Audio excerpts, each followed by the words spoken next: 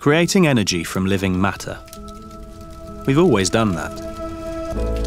It began with fire. We got heat. That made a difference. Things got cozy.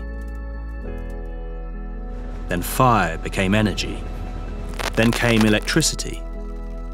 We found ancient living matter fossilized underground, which gave us even more heat and energy. Then we discovered that matter was just a very condensed form of energy that could be unleashed with once unimaginable consequences. Energy produced progress and well being, and as the world's population exploded, so did the use of energy. We burned all we could find until it became clear that unless we changed course, the consequences would be catastrophic. Then, the dream an energy source that does not end and doesn't damage the planet renewables. What most people don't know, however, is that in Europe, most renewables still come from good old organic sources, such as wood or crops or organic waste. Experts call it biomass. It was a dream come true, a clean, endless energy source derived from living matter. This is the story of something that was supposed to look like this. I need fuel.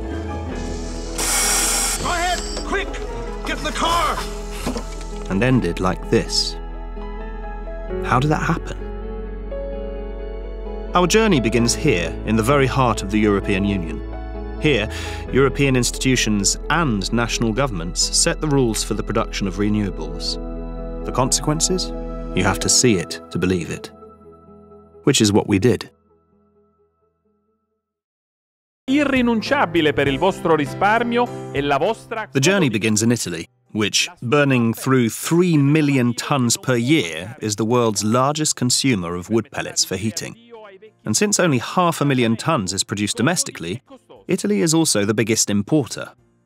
Classified as renewable energy and supported by tax breaks that promise a 50% reduction on your bills, pellet stoves have become a must for the Casa Italiana, with heartfelt appeals. Signora, mi chiami, mi chiami subito, signora. Worthy of design contests. Quest'anno la stufa tonda vince su tutte.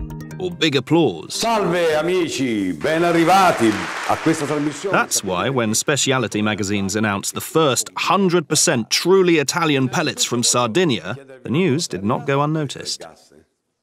Wood pellets are finally an alternative to diesel, gas, and wood logs. They are 50% cheaper because they're produced from leftover wood from manufacturing and construction, boasted the propaganda. On our way to Sardinia, we read that it is the second greenest Italian region after Tuscany, with 50% of its surface covered by forest. A figure that contradicts the experience of anyone who's ever been to this island. The Sardinian pellet chapter began in 2011, when the Regional Forestry Authority decided to promote the production of woody biomass, authorising a pilot logging project in the forest of Marganai. The forest had been bought by the region in 1979 from a failing mining company. Rich with strawberry trees, phillyrea, and evergreen shrubs, Marganai is one of the largest holm oak forests in the Mediterranean, which has miraculously survived the intensive mining activity in the area. The forest was declared a Natura 2000 site by the EU in the 90s. If successful, in the name of innovation and development, the logging for the new pellet industry would have been extended to all remaining state owned forests, possibly the most precious on the island. The innovator that will turn the forest into gold is the visionary local entrepreneur Giuseppe Vargiu, who is well connected to local politics. He is the man who says he will bring growth and jobs to the poorest province of Italy, Carbonia Iglesias. In under three years, Mr. Vargiu has logged over 33 hectares of forest. But he's thinking big, so he built his first pellet mill to produce four to 6,000 tons per year of true Sardinian pellets. Con la legna da ardere. La conseguenza che cos'è? Che noi abbiamo i nostri boschi sporchi, non fruibili eh, a livello turistico, ad alto rischio incendio, ok? E abbiamo disoccupati in piazza. Va bene? Questa è la, la, la, la realtà. E il cedo, secondo me, non è altro che la conservazione e il, il rinnovo della vegetazione, come quando un padre ha un figlio. Se il padre figli non ne fa, la famiglia muore. La concorrenza tra le piante, che sono troppe, un sottobosco che non c'è più, non c'è rinnovo. Quindi quel bosco è destinato a morire. Allora, se vado a vedere dove non è tagliato, io ti conto due o tre specie di legni diverse. Qui te ne conto 7-8 già. Noi lì abbiamo vinto una gara poi la legna io ne faccio di quello che voglio, Ah, perché certo, ho vinto un'asta, eccetera, Certo, eccetera. certo. L'opinione pubblica è convinta che lì ci sia un danno e quel danno è stato fatto solamente mirato a fare pellet. Allora, intanto lì pellet non abbiamo mai fatto di quei boschi. E noi l'abbiamo utilizzato come legna da ardere. Ha tanto di positivo e dovrebbe essere da esempio per tutta la Sardegna. Dovrebbe essere da esempio. Over a long lunch, local forest workers candidly confess their doubts about the sustainability of the logging practices in Marganai. Però tieni conto che ormai queste foreste su calcare paleozoico non ci sono più nel Mediterraneo, né a Creta, né in Algeria, né in Marocco, sono estinte, sono estinte. Gli inventari forestali oggi dicono che la Sardegna è, dopo la Toscana, la, è la regione più boscosa d'Italia. Un milione e duecentomila ettari di È un dato impressionante. No, è un dato fasuto. And here are the real figures on Sardinia's forests. Half of the 1.2 million hectares have only shrubs. Only 600,000 hectares have trees taller than 5 metres. Of these, 100,000 are pine monocultures. Then there are the non native chestnut and eucalyptus species, heavily exploited by humans. Then you have some 300,000 hectares of formerly coppiced forests, and then 200,000 of tall forest trees. So we're talking about less than 10% of Sardinia's land being actual forest. Nearly half of these forests are state owned and managed, like Marganai. But Marganai has been logged in the past. So what's the problem now? Mentre prima un tempo venivano fatte tagliate massimo in un anno di, di 10 ettari, perché veniva fatto con la sega a mano, e poi e l'esbosco avveniva con i buoi e con i muli. Axes and mules have become chainsaws and tractors, efficient machinery against the last trees of a dry and nearly naked island. Mr. Vargiu says his cuts have saved the forest. But these forest workers do not agree, and the locals don't seem to have bought into the Sardinians want Sardinian wood slogan. And 3,000 out of 6,000 citizens in Domusnovas have signed a petition to stop the logging. But why? What really happened in Marganai? We enter the forest with our two guides. Francesco Aru, the environmental expert who drew up the plan that turned Marganai into a protected area, and local blogger Pablo Sole. In less than an hour, we drive through different microclimatic zones that give this area different landscapes and rich biodiversity. The first thing Aru shows us with pride is the thick, dense peat soil of the forest, rich with organic matter. And finally, here it is, the logged area.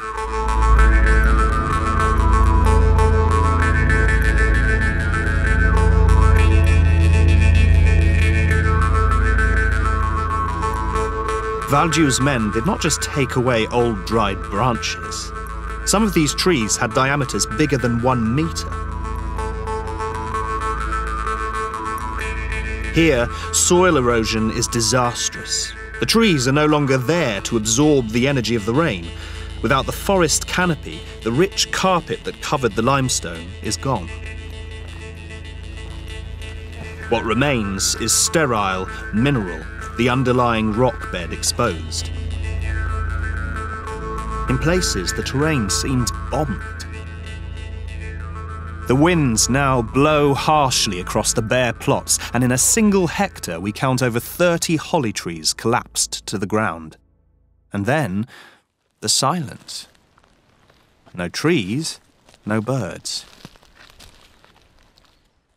Thrushes, blackbirds, and pigeons that used to migrate over the forest are in decline, and even a rare pair of goshawks disappeared after the cuts. The so called gentle maintenance in Marganai is a disaster. We drive back to Cagliari to speak to the authorities. Someone has surely realized it by now. non contigue, un po' separate, fa sì che si abbia la possibilità di avere un carico che si sposta un po' su queste aree e quindi che si abbia meno, meno danno rispetto per esempio al, al, al tema dei, dei, danni fatti all'agricoltura da parte dei selvatici. Non coltivo certezze in genere, eh. io coltivo dubbi, non certezze. Però non ho proprio questa certezza che questo intervento sia stato, uh, come viene detto, addirittura nefasto. nefasto. Denial. They're in complete denial. The Forestry Agency also confirms that their real ambition is not only to expand the project to all state owned forests, but to show private forest owners, who control the other 50% of Sardinia's forests, how valuable trees can be. When you log them, that is. We need to go higher in the chain of command. The Environment Secretary of the regional government will tell us more. Logging operations are now on hold. The authority that protects Italian landscapes has suspended the logging because it wasn't a forest cleaning and maintenance job, but found there was substantial logging for commercial purposes, an activity that requires a whole different set of permits. It's a fragile, temporary victory of local civil society and the local press. But for how long? Is this what Italy and Europe mean by renewable energy from natural resources? Is the mass burning of wood really sustainable? And what if the consequences of this ill conceived, blind, and counterproductive approach to renewables had effects that went well beyond its borders? What if a forest like Marganai was, say, in a country where civil society and the press are not as vocal, not as free? With 1 million tonnes per year, Russia is already the biggest pellet producer in Europe, and the market seems to be at the beginning of a new boom. One that will not meet capacity constraints anytime soon, for one quarter of the world's forests are here, in Mother Russia. That's why we're off to visit the largest pellet mill in the world, in Viborg.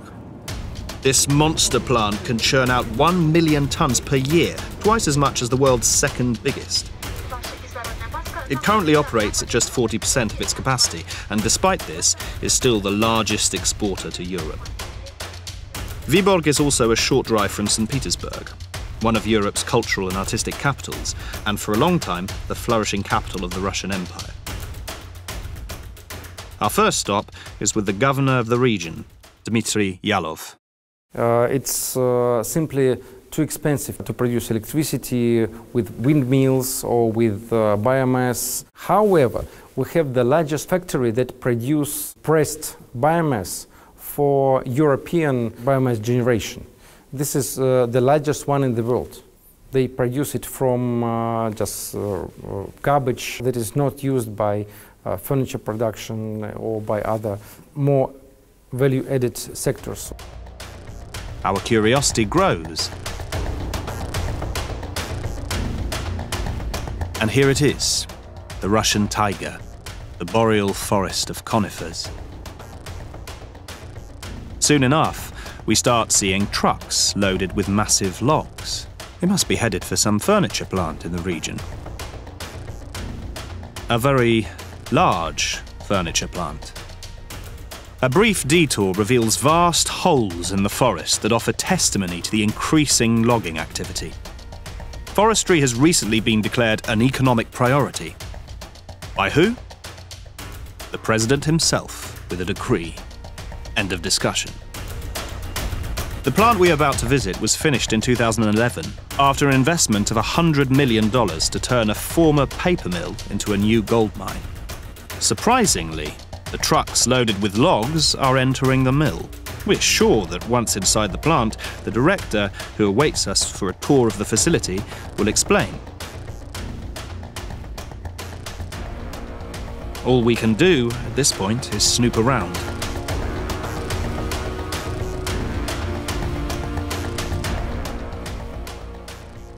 No logs, they say.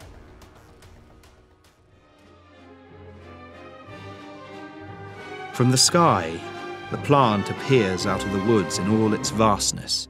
Its buildings span over 10 miles. its true depth extends from the forest to the sea, where from a private dock the precious cargoes leave undisturbed and unobserved. The line of stored logs must be longer than a mile.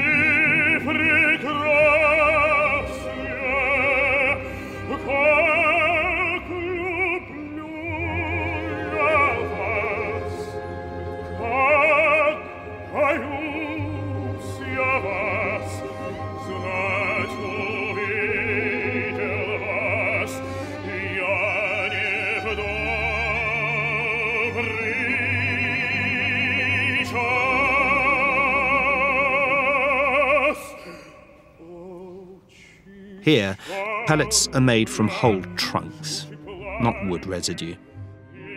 These trees will be shredded here and legally burnt in Europe as supposed clean and renewable energy. But since it's all destined for Europe, we want to find out, at least, where these trees come from, and if any of this wood is certified. From every 10 companies which apply for FSC certification, three will start certification process and uh, two of the three will uh, get FSC certificate. For that huge company in Vyborg, it's a big challenge to find a lot of FSC certified raw materials. I think production of uh, biofuels, timber biofuels, will grow in five years, Europe will get a very strong competitor in Asia. So, the problem is again in the European Union. It sets the targets for renewables and bioenergy, but it does not impose safeguards for nature. Brussels says use biomass, and national governments end up trashing and burning forests. And while Brussels ponders the issue, the Kremlin has spotted the opportunity. The plant director, Alexander Sabadash, has been jailed and sentenced to six years for tax fraud, and the plant has been seized by the government in a dynamic that bears a striking resemblance to the oil industry a few years back. Also, another paper mill in the region is converting its machinery for the production of pellets and should be open for business by 2018. Specialized media have also recently announced the intention of a new player, Russian Wood Pellets, to build a number of mega mills three times the size of the gigantic Viborg plant we've just seen.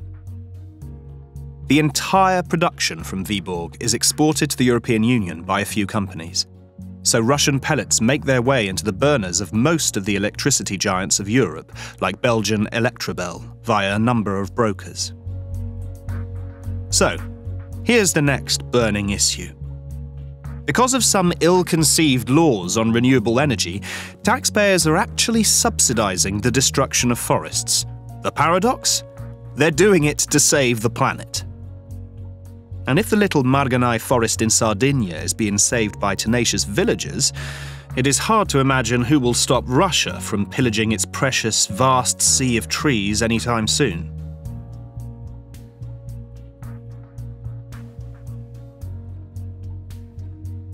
But there is another, less obvious damage being afflicted on nature in the name of renewables. It's a disaster happening in farmland. It, too, started with a dream, using crops instead of oil to fuel our cars. It, too, is turning into a nightmare. Our journey into the world of farmers turned energy producers starts in Romania. Romania is a perfect example of how Brussels' energy policies can impact an agricultural Eastern European economy.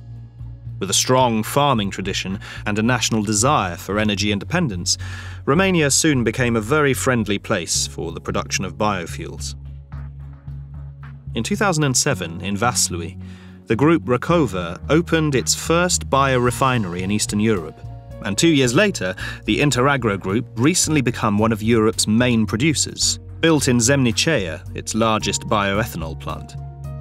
We decide to start looking at academia Romanian universities, semi privatized and hungry for funds, have found resources by creating dedicated courses and master programs on biofuels to supply the right skilled professionals to the new booming sector.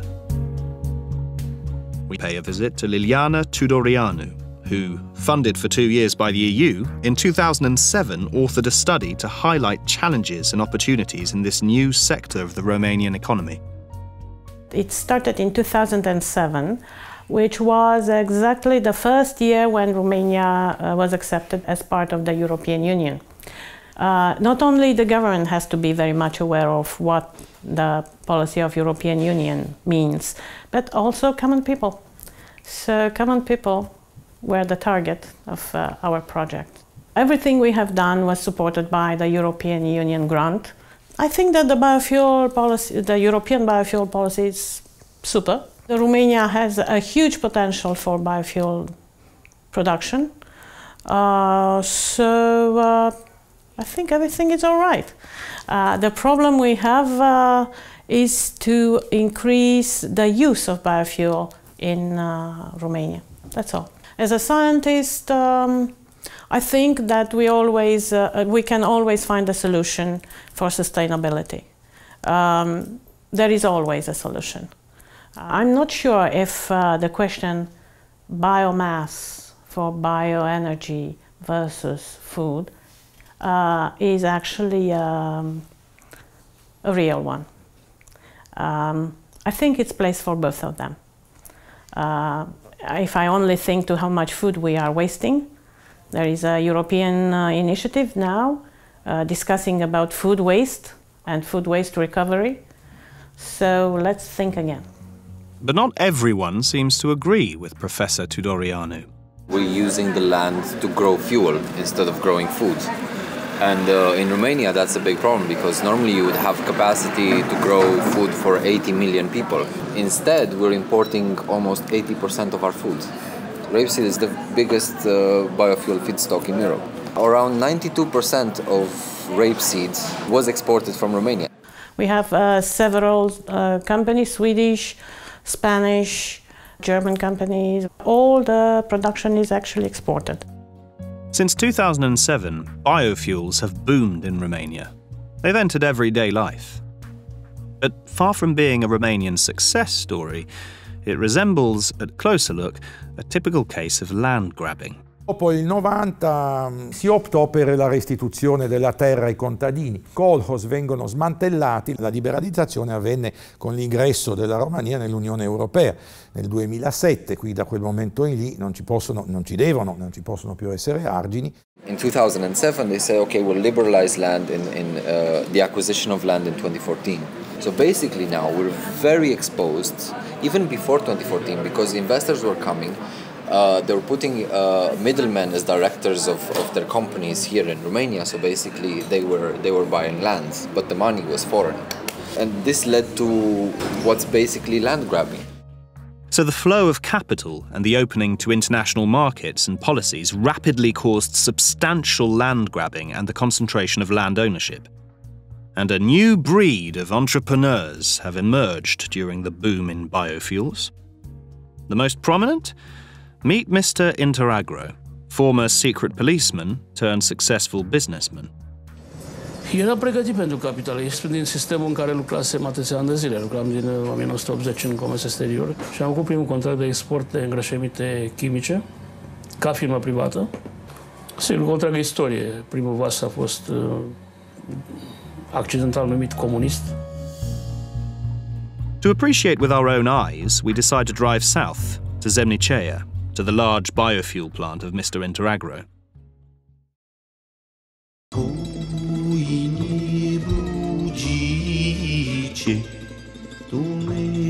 Mama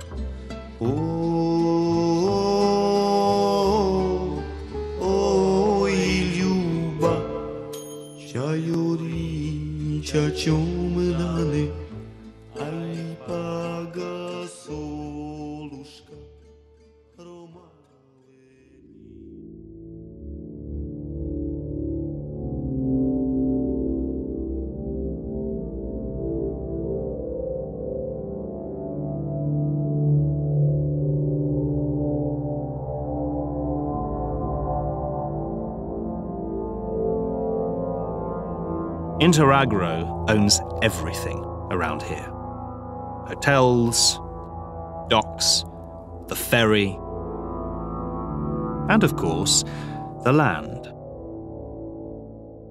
The impact a plant this size has on its surroundings is impressive.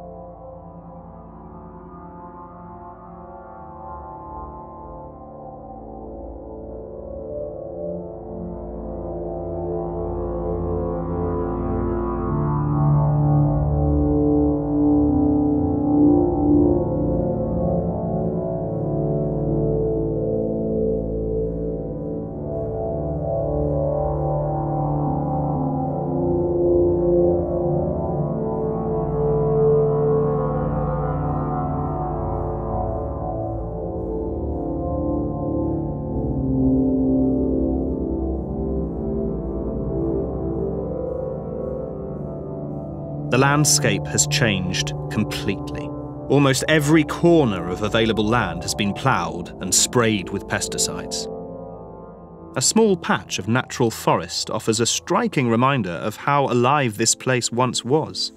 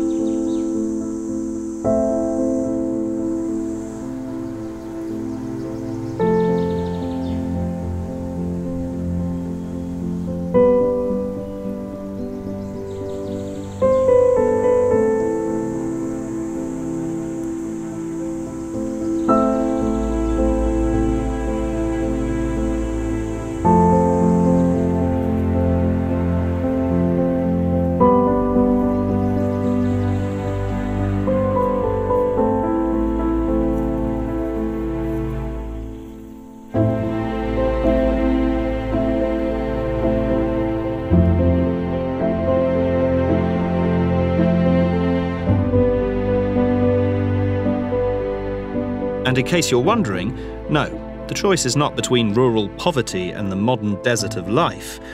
There are ways to produce wealth in farmland without destroying biodiversity. But that's another story. Now, I know what you're thinking. Italy, Russia, Romania, they're special cases. Bad law enforcement, corruption, or fraud. Well, think again, because we're off to the land where rules are taken seriously. Yes, it's Germany, Europe's main producer of biofuels and the third in the world.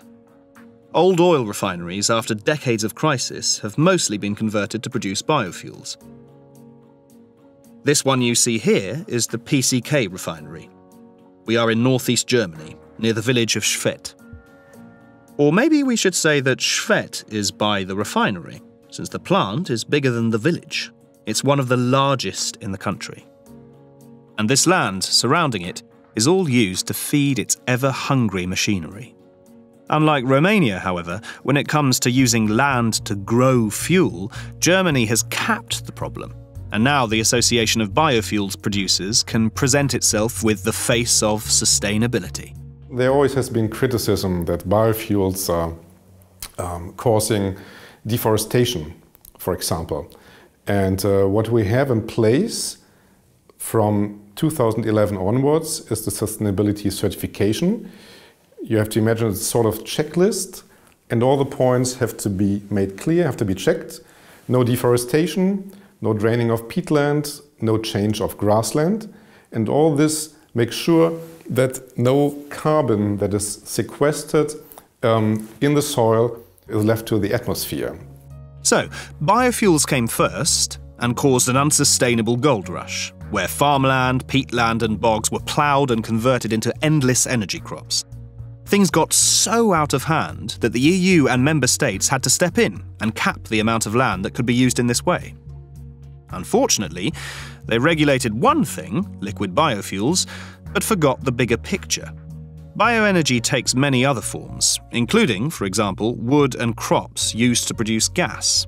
The burning issue is that these forms are still unregulated, and that is where the challenge lies now, and here is why. Not far from the refinery, after another sea of monocultures, appears one of the largest biogas plants in the world, the Bioenergy Park in Mecklenburg, West Pomerania, one of several belonging to Nawaro Bioenergy. This ravenous monster needs more than a thousand tons of corn every day, the same as four million people. Nawaro's management will show us the facilities. This is becoming a trend. The impact that a plant this size has on its surroundings is deep. No one is better equipped to describe it than a local farmer. We have this farm since 1969. area there are many uh, big factory farms. Yes. Yes. Mm. Round about us. Their names. If you want. No, I don't want. No, I don't know. They are not living on, on the land and they are not farming. Uh, they only use it to, to put in their money. The land cost has changed. It's very, very expensive. Somebody um, asked us if we wanted uh, to sell all of it, and we said no, it's too big. It's too big. Mm. Only for Mm, they need also cereals who uh, we could eat, for example, and that's not okay. There is hunger in the world, that's true, but biofuels do not cause hunger. Most disputes arise from the use of corn for biogas, but people do not distinguish between um, producing, growing corn for uh, food, corn for animal feed, and corn for the use in biogas plants. Maybe people don't distinguish, but official statistics do. Energy producers have bought, in the last 10 years, some 15 to 30% of the available land. In just six years, land prices have gone up 55%. Grazing land has become a luxury because of the competition corn represents. For the first time in 25 years, Germany, a big producer of corn, has become a net importer, and farmers have had to buy corn and soy from Brazil. And even potatoes and other food crops find it hard to compete with energy crops. But what is wrong with producing corn? What is wrong with this lush sea of green? Well, the point is that it looks like life, but in fact, it's just a factory of plants. In an eerie silence, we look for a sign of life. Nothing. Well, almost nothing. You do not have to go very far to see what this place once looked like. The fields actually border with a national park, an important wetland. There are still trees here, and life here resists.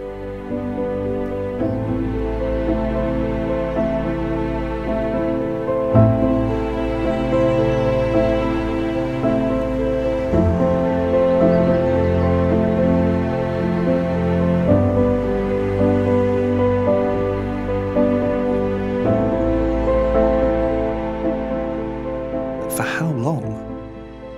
Biogas from um, maize and other crops might be um, um, sustainable if it's on a very small scale. The problem is uh, that um, we don't have so much biomass available and in particular in Central Europe we have a lot of competition for land. We saw many former valuable grassland sites which have been um, plowed up which is very detrimental from a climate uh, policy point of view and converted to um, monoculture of maize production.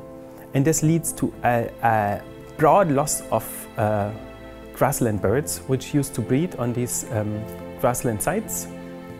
In forestry, we have um, many forests where more and more wood is being taken out, even dead wood, which is very important for uh, beetles, for many small invertebrates and a whole food chain of uh, animals ca cannot survive anymore and if the forest is being intensified and treated as a monoculture of specific crops. Official data show that between 2004 and 2010 alone, in large parts of Bavaria, some 90% of grasslands were lost, often to cornfields. The Association of Bioenergy Producers, of course, sees it differently.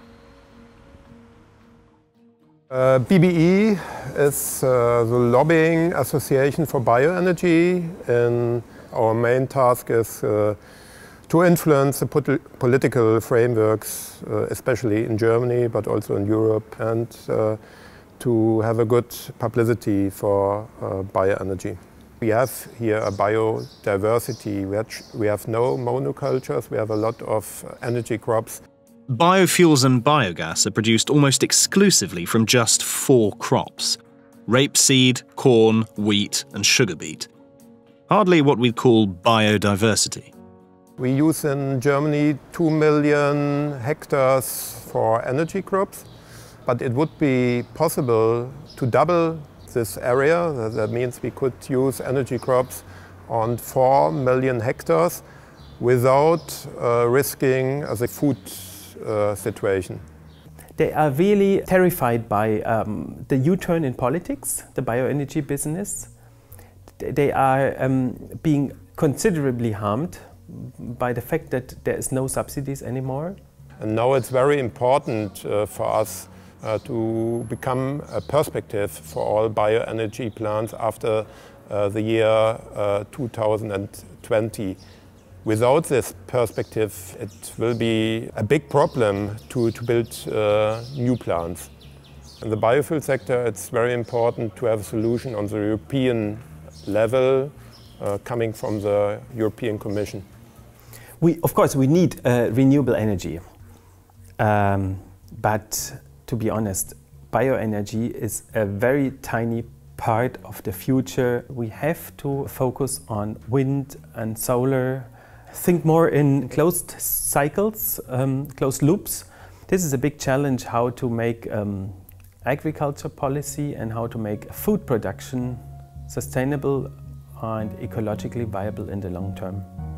So things can go wrong, very wrong, even in a leading country that aspires for clean energy and where rules are applied.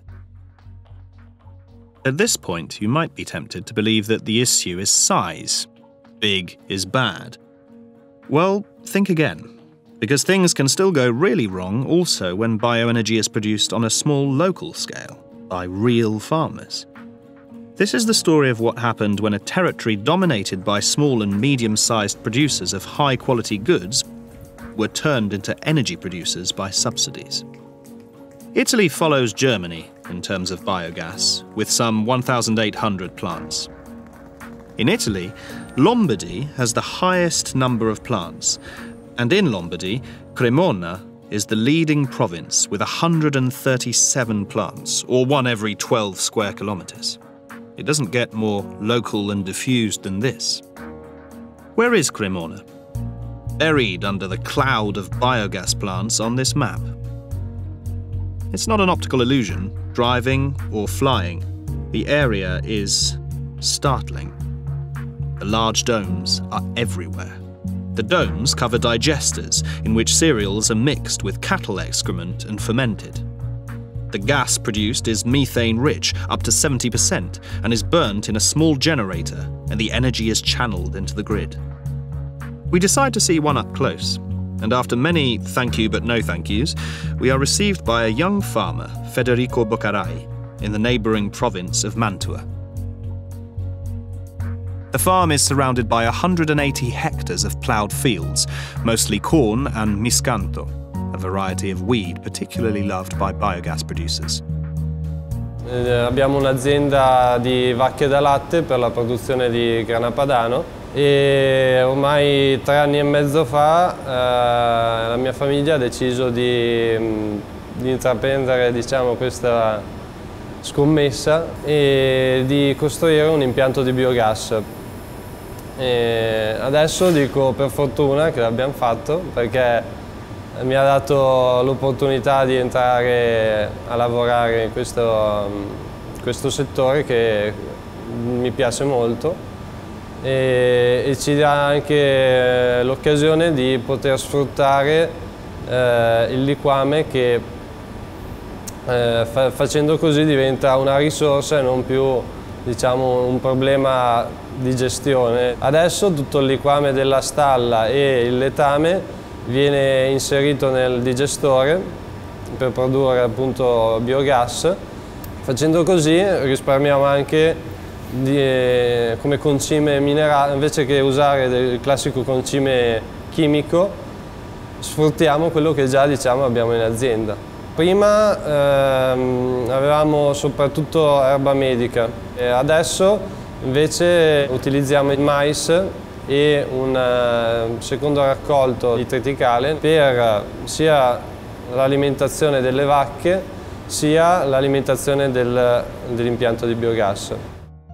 Federico and his family produce electricity and they sell it to the National Power Authority at a subsidised price, a multiple of the market price, fixed for 15 years.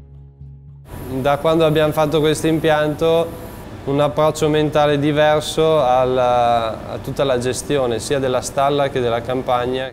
The best of all worlds, or so it seems. The truth is that at a closer look, the biogas business has changed more than the way Federico looks at his farm, and many of these changes are actually scary.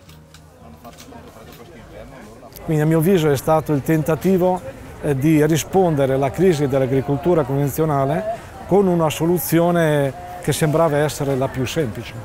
L'agricoltura mantovana è profondamente cambiata con l'arrivo delle biomasse, in quanto questi sono impianti che necessitano eh, di eh, quantitativi molto ampi di cereali. Il mercato dei cereali con l'arrivo degli impianti a biomassa è cambiato nel senso che da una parte si è avuto una estensione di queste produzioni che hanno cambiato il paesaggio rurale, hanno cambiato anche i prezzi degli affitti per quanto riguarda i terreni agricoli, con conseguenze gravi per quanto riguarda le aziende zootecniche. So the impact of subsidies was quite pervasive when it comes to farming and agricultural markets. None of the mistakes made in Germany seem to have taught anyone a lesson. But the consequences are even more dramatic when it comes to the environment. Ehm, rende i terreni eh, ancora più diciamo, sovrautilizzati, quindi l'utilizzo dei terreni per la natura eh, è l'ultima cosa a cui si pensa. Quindi se eh, fino a dieci anni fa si poteva pensare di lasciare alcuni terreni a riposo a vantaggio della natura, eh, delle specie animali e vegetali, al giorno d'oggi questa cosa è molto complicata. La natura in certe zone, nelle pianure intensive, soprattutto del nord d'Italia, semplicemente non, non ha spazio, non ha posto, non sa dove stare fisicamente. Birds are the best measure of the quality of life on land. An empty sky suggests that there is very little life on the ground. Le regioni eh, utilizzano degli indicatori di biodiversità che sono basati sull'andamento delle popolazioni degli uccelli, degli uccelli e degli ambienti agricoli. E andando a vedere l'indicatore calcolato solo sulle, con i dati presi nelle pianure intensive, vediamo questo indicatore invece cala del 42%, cioè dal 2000 ad oggi le popolazioni degli uccelli che vivono in quelle zone sono quasi dimezzate. Landscapes are not just changing visually, sounds are different too. Some common, iconic birds are common no more. L'allodola è, è, un uccello, un passeriforme che ehm, gli agricoltori di una certa età si ricordano perché tutti sono capaci di riconoscere il canto dell'allodola eh, alla mattina e attualmente è sempre più difficile ascoltarla, cioè è una cosa di cui si accorgono anche gli stessi operatori. And then there is the issue of the fermentation residues. They are so rich in nitrates, deadly for many species in high concentrations, that a whole generation of producers are probably sitting not on precious fertilizers, but on polluting wastes that will need very expensive treatment an issue that alone can bankrupt the whole sector. Per la purezza del suo busto è un'opera d'arte. Ma vogliamo paragonarlo al David di Michelangelo? Mi piaceva tanto anche le mie mucche, sai. ma la cosa che più ricordo della mia terra è il suo sapore. Grana Padano, il buono che c'è in noi. It's quite simply a miracle that all local agricultural production hasn't been hijacked by the insatiable biogas industry. And Grana Padano, Parmesan's close relative, the local pride and joy, still resists from being produced with foreign milk. But the burning issue is for how long? How did this happen? Gli interventi della comunità europea, della politica in generale, a mio avviso, sono stati interventi che hanno deformato il mercato, lo hanno alterato. E oggi, tra l'altro, stiamo assistendo al fatto che alcuni di questi impianti sono fermi, proprio perché l'intento, speculativo era sin chiaro dall'inizio e non ha retto poi nel momento in cui gli incentivi sono stati decrescenti. Non c'è stata alcuna programmazione. Hanno chiuso le stalle quando i buoi erano già scappati.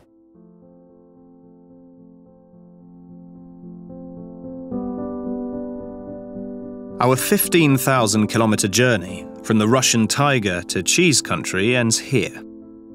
Allow us to take the next 60 seconds to draw some conclusions from this parade of political mess ups turned environmental disasters, because there are a few burning issues outstanding.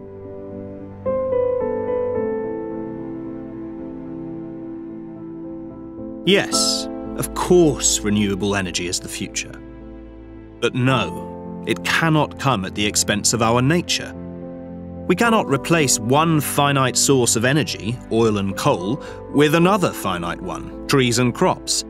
Depleting and destroying natural resources on which our health and food, indeed our very lives depend, it's like curing a headache by cutting off your head. And no, you cannot save life on Earth by destroying it. You don't have to go all philosophical to understand that turning plants into tons and joules, animals into calories, thinking hectares instead of landscapes, and that converting every single living organism into a pixel in the matrix, a cell in that damn spreadsheet, well, it does not work. And no, there is nothing renewable about driving species to extinction as we heat our homes. And yes, what you do in one place, Europe for example, does affect everyone. The butterfly effect is real. One wrong law in Brussels can clear cut a forest in Russia or plough a grassland in Africa. And yes, yes, this can be fixed with the same tools we've used to screw it up our laws. Because those, the bad laws, Italian, Romanian, German, or European, those are the only things we should burn.